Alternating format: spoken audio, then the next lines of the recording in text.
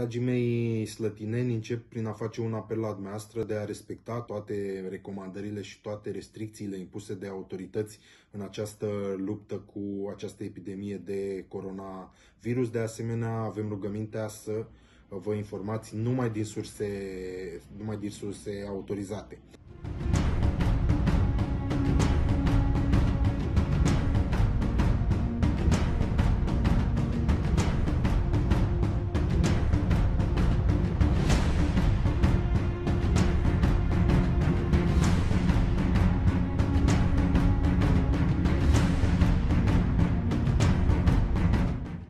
Pentru că igiena este foarte, foarte importantă în aceste momente. Grupul consilierilor local PNL a depus un proiect de hotărâre uh, la primăria Slatina, astfel că apa pe care dumneavoastră o consumați uh, în această perioadă a stării de urgență să fie suportată în totalitate de la bugetul uh, local al municipiului Slatina. După cum știți, primăria Slatina deține cea mai mare parte din compania de apă Olt și nu considerăm că ar fi un efort prea mare în aceste condiții de igienă strictă care sunt uh, necesare ca prețul pentru consumul de apă doar pe această perioadă a stării de urgență să fie subvenționat în totalitate de către primăria municipiului Slatina.